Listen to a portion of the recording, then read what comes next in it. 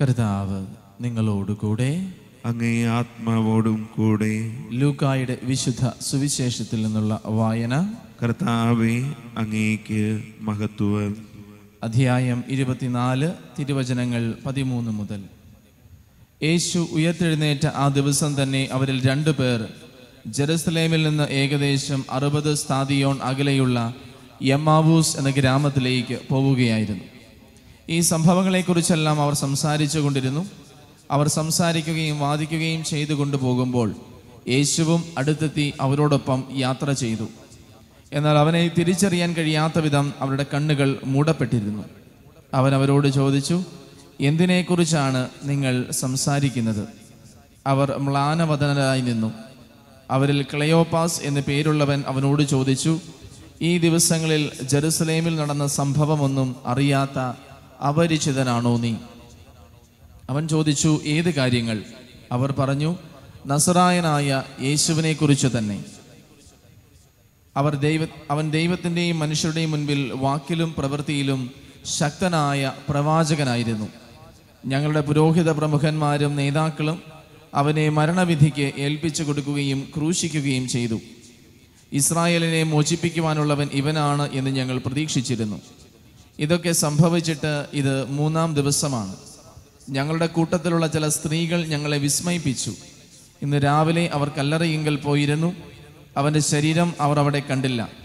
അവർ തിരിച്ചു വന്ന് തങ്ങൾക്ക് ദൂതന്മാരുടെ ദർശനമുണ്ടായെന്നും അവൻ ജീവിച്ചിരിക്കുന്നുവെന്നും അറിയിച്ചുവെന്നും പറഞ്ഞു. ഞങ്ങളുടെ കൂടെ ഉണ്ടായിരുന്നവരിൽ ചിലരും കല്ലറയിങ്കിലേക്ക് പോയി സ്ത്രീകൾ പറഞ്ഞതുപോലെ തന്നെ കണ്ടു. എന്നാൽ അവനെ അവർ കണ്ടില്ല. അപ്പോൾ അവർ അവനോട് പറഞ്ഞു അപ്പോൾ അവൻ അവരോട് പറഞ്ഞു ഭോഷന്മാരെ പ്രവാചകന്മാർ പറഞ്ഞിട്ടുള്ളത് വിശ്വസിക്കുവാൻ കഴിയാത്ത വിധം ഹൃദയം മന്ദീഭവിച്ചവരെ ക്രിസ്തു ഇതെല്ലാം സഹിച്ച മഹത്വത്തിലേക്ക് പ്രവേശിക്കേണ്ടിയിരുന്നില്ലേ? മോശ തുടങ്ങി എല്ലാ പ്രവാചകന്മാരും വിശുദ്ധ ലിഖിതങ്ങളിൽ തന്നെ പറ്റി എഴുതിയിരുന്നവയെല്ലാം അവൻ അവർക്ക് വ്യാഖ്യാനിച്ചു കൊടുത്തു. അവർ എത്തേണ്ടിയിരുന്ന ഗ്രാമത്തോടടുത്തു അവനാകട്ടെ യാത്ര തുടരുകയാണെന്ന് ഭാവിച്ചു. അവർ അവനെ നിർബന്ധിച്ചുകൊണ്ട് പറഞ്ഞു ഞങ്ങളോട് കൂടെ താമസിക്കുക. നേരം വൈകുന്നു പകൽ അസ്തമിക്കാറായി. അവൻ അവരോട് കൂടെ താമസിക്കുവാൻ കയറി. അവരോടൊപ്പം ഭക്ഷണത്തിനിരുന്നപ്പോൾ അവൻ അപ്പമെടുത്ത് ആശീർവദിച്ച് മുറിച്ച് അവർക്ക് കൊടുത്തു. അപ്പോൾ അവരുടെ കണ്ണുകൾ തുറക്കപ്പെട്ടു. അവർ അവനെ തിരിച്ചറിഞ്ഞു. പക്ഷേ അവൻ അവരുടെ മുൻപിൽ നിന്ന് അപ്രത്യക്ഷനായി. അവർ പരസ്പരം പറഞ്ഞു വഴിയിൽ വെച്ച് അവൻ വിശുദ്ധ ലിഖിതം വിശദീകരിച്ചുകൊണ്ട് നമ്മോട് സംസാരിച്ചപ്പോൾ നമ്മുടെ ഹൃദയം ജ്വലിച്ചിരുന്നില്ലേ? അവർ അപ്പോൾ തന്നെ എഴുന്നേറ്റ് ജെറുസലേമിലേക്ക് തിരിച്ചുപോയി. അവിടെ കൂടിയിരുന്ന പതിനൊന്ന് പേരെയും അവരോടൊപ്പം ഉണ്ടായിരുന്നവരെയും കണ്ടു.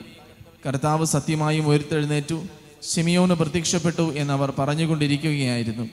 വഴിയിൽ വെച്ച് സംഭവിച്ചതും അപ്പം മുറിക്കുമ്പോൾ തങ്ങൾ അവനെ തിരിച്ചറിഞ്ഞതും അവരും വിവരിച്ചു. കർത്താവിന്റെ സുവിശേഷം ക്രിസ്തുവേ അങ്ങേക്ക് സ്തുതി. ഈശോയിൽ ഏറ്റവും പ്രിയപ്പെട്ടവരെ ലുകാസുവിശേഷങ്ങളിലെ ഏറ്റവും മനോഹരമായ ഒരു വചനഭാഗമാണ്. ഒത്തിരി ആഴമേറിയ അർത്ഥമുള്ള ഒരു വചനഭാഗമാണ് എമ്മാവൂസ് ഗ്രാമത്തിലേക്ക് പോയ ശിഷ്യന്മാരുടെ ഈ ഒരു സംഭവം. നമുക്കറിയാം ഈ ദിവസങ്ങളിലെല്ലാം ഈസ്റ്ററുമോ ഈസ്റ്ററുമായിട്ട് ബന്ധപ്പെട്ട അതിനുശേഷം മുദിതനായ കർത്താവുമായിട്ടുള്ള വചന സന്ദേശങ്ങളാണ് നമ്മൾ കേട്ടുകൊണ്ടിരിക്കുന്നത്. പല ആവർത്തി നമ്മൾ കേട്ടതാണെങ്കിലും വീണ്ടും വീണ്ടും ഓരോ വചനഭാഗവും പല പല കാര്യങ്ങൾ നമ്മോട് പറയുന്നുണ്ട്. ഒരു കാര്യം ശ്രദ്ധിച്ചാൽ നമുക്കറിയാവുന്നത് ലൂക്കാട് സുവിശേഷം മുഴുവനും ജെറുസലേമിലേക്കുള്ള യാത്രയാണ്. ലൂക്കാ സുവിശേഷം മുഴുവൻ വായിച്ചാൽ അറിയാം കർത്താവ് ജെറുസലേമിനെ ലക്ഷ്യമാക്കി നടത്തുന്ന യാത്രയാണ് ലൂക്കാട് സുവിശേഷം മുഴുവനും. ഏറ്റവും അവസാനമായി യാത്ര ജെറുസലേമിൽ ചെല്ലുന്നു. അവിടെ വെച്ചാണ് കർത്താവിന് വിചാരണ ചെയ്യപ്പെടുന്നതും ജെറുസലേമിന്റെ വെളിയിൽ വെച്ച് കർത്താവിനെ വധിക്കുന്നതുമല്ല. അപ്പോൾ കർത്താവ് തന്റെ ശിഷ്യന്മാരോടുകൂടെ ജെറുസലേമിലേക്കുള്ള ഒരു യാത്ര പോകുന്നതിനിടയ്ക്ക് സംഭവിക്കുന്ന കാര്യങ്ങളെക്കുറിച്ച് പറയുന്നത് പോലെയാണ് ലൂക്കാ സുവിശേഷകൻ സുവിശേഷം അവതരിപ്പിച്ചിരിക്കുന്നത്. അത് വായിക്കുമ്പോൾ നമുക്കറിയാം എല്ലാ കാര്യങ്ങളും കേന്ദ്രീകരിക്കേണ്ടത് ജെറുസലേമിലേക്കാണ്.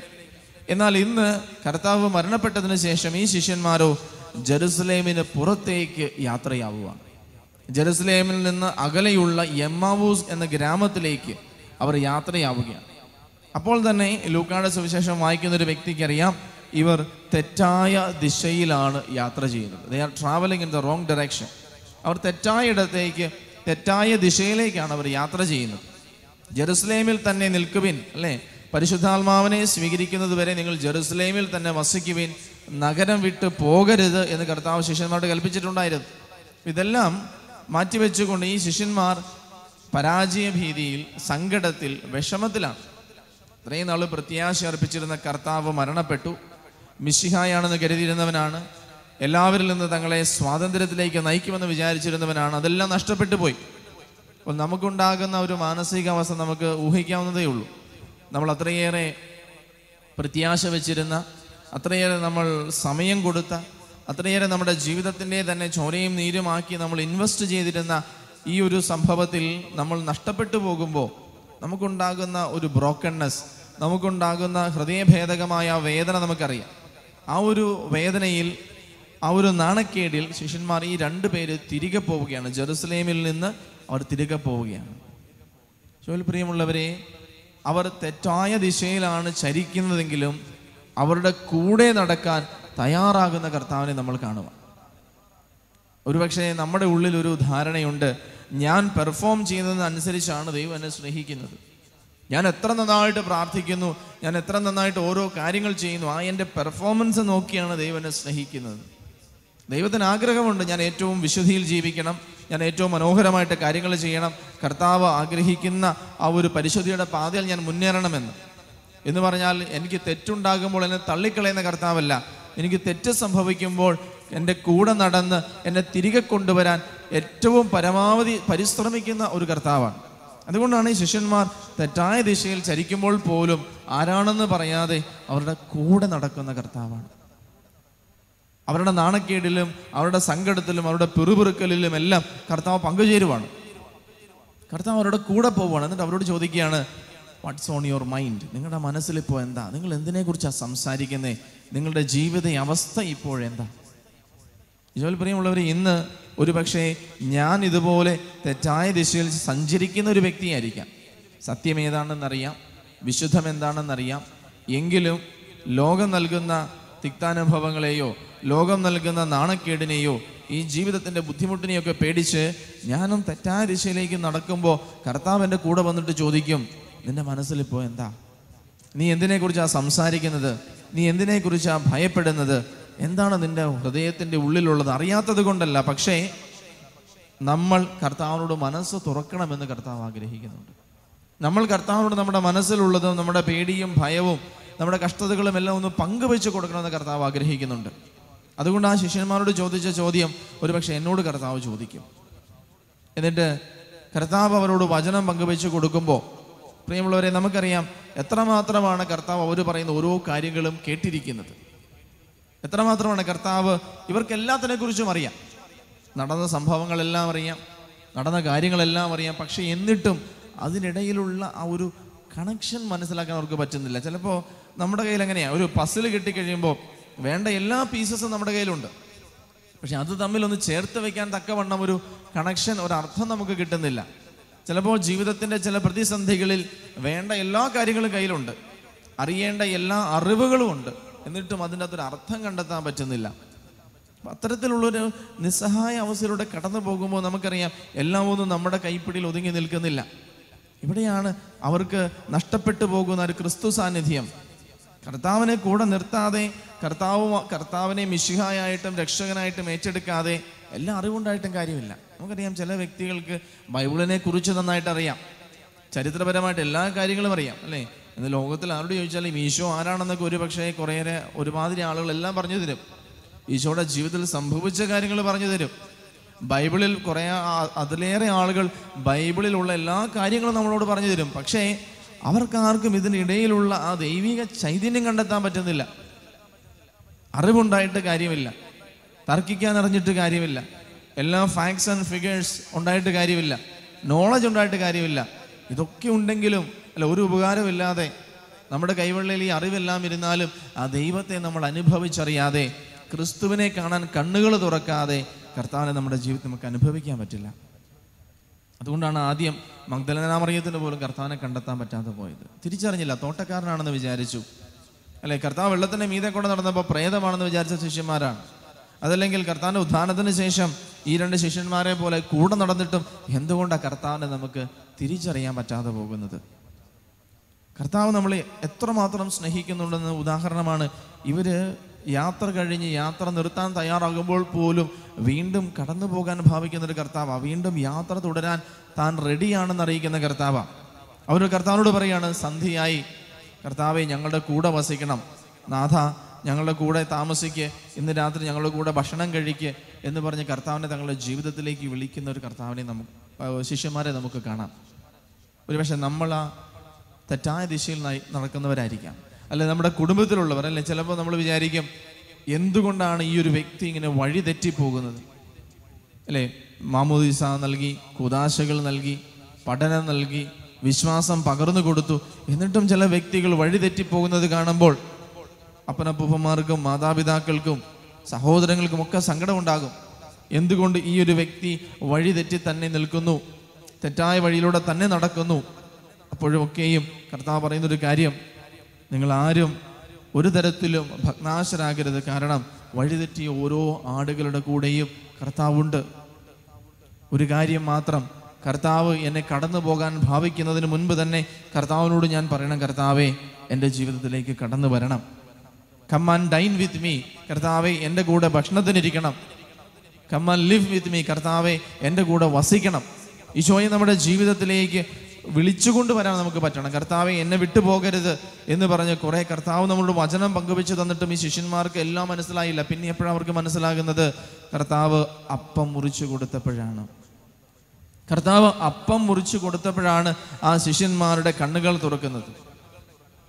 സൂക്ഷിച്ചു നോക്കിയാൽ പ്രിയമുള്ളവരെ പരിശുദ്ധ കുർബാനയെ ഇന്നത്തെ ഈ വചനഭാഗത്ത് നമുക്ക് കാണാം. ആദ്യ ഭാഗത്ത് കർത്താവിനെ കുറിച്ചുള്ള എല്ലാ കാര്യങ്ങളും വചനം പറഞ്ഞു കൊടുത്തുകൊണ്ട് കർത്താവ് സ്ഥിരീകരിക്കുന്നുണ്ട്.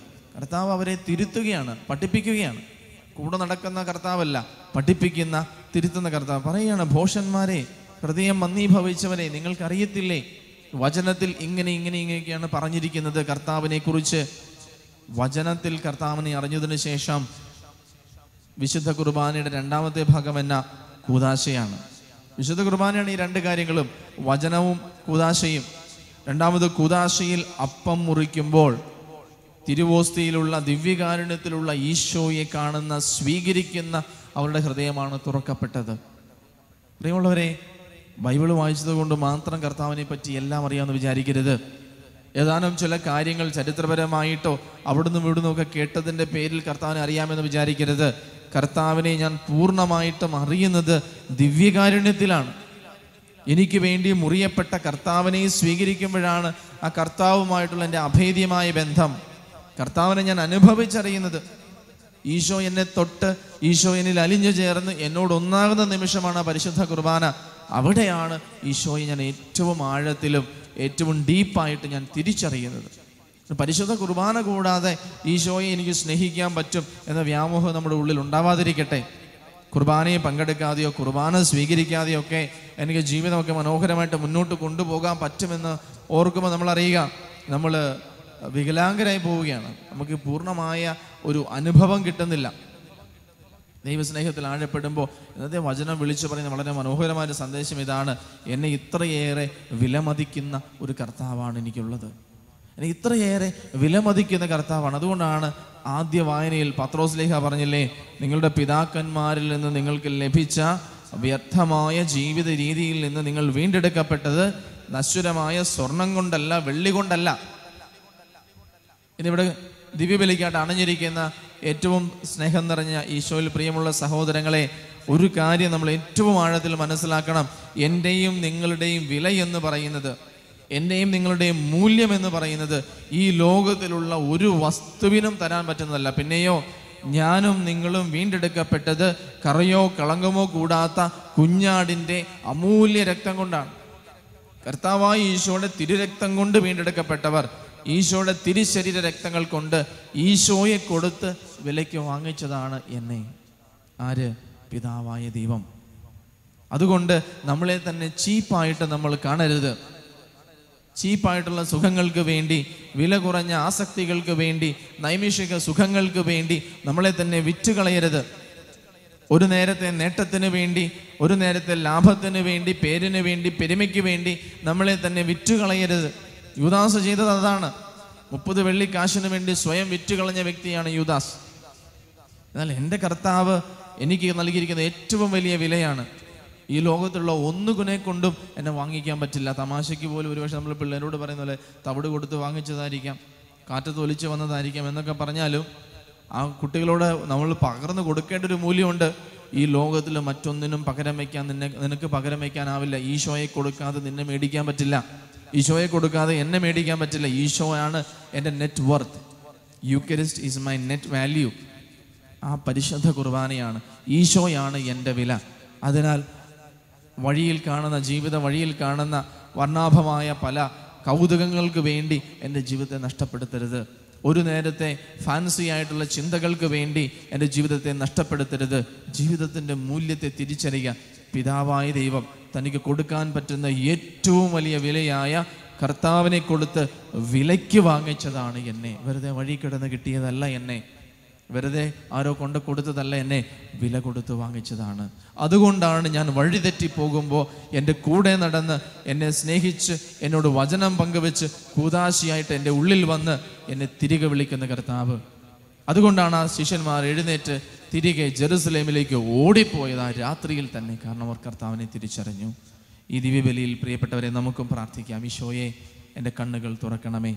നിന്നെ തിരിച്ചറിയാൻ നിന്നെ മനസ്സിലാക്കാൻ കർത്താവ് എന്റെ കൂടെ നടക്കണമേ. ഞാൻ വഴി തെറ്റിപ്പോകുമ്പോഴും തെറ്റായ ദിശയിൽ യാത്ര ചെയ്യുമ്പോഴും എന്റെ കൂടെ നടന്ന് എന്നെ പഠിപ്പിച്ചു തരണം എന്നെ തിരുത്തി തരണമേ. കർത്താവെ നീ എനിക്ക് തരുന്ന കൽപ്പിച്ചു തരുന്ന വില മനസ്സിലാക്കാൻ ലോകത്തിൽ ഒന്നിനെ കൊണ്ടും എന്നെ വാങ്ങിക്കാൻ പറ്റില്ല. എന്റെ കർത്താവാണ് എന്റെ വില. അത്രയേറെ വിലപ്പെട്ടതും വിശിഷ്ടവുമാണ് ഞാൻ എന്ന വ്യക്തി എന്റെ വ്യക്തിത്വം എന്ന ബോധ്യം എനിക്ക് തരണമേ. എല്ലാറ്റിലും ഉപരി കർത്താവേ എന്റെ കൂടെ വസിക്കണമേ.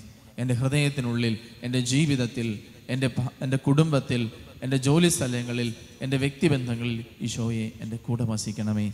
ദൈവം നമ്മെ അനുഗ്രഹിക്കട്ടെ. ആമേൻ.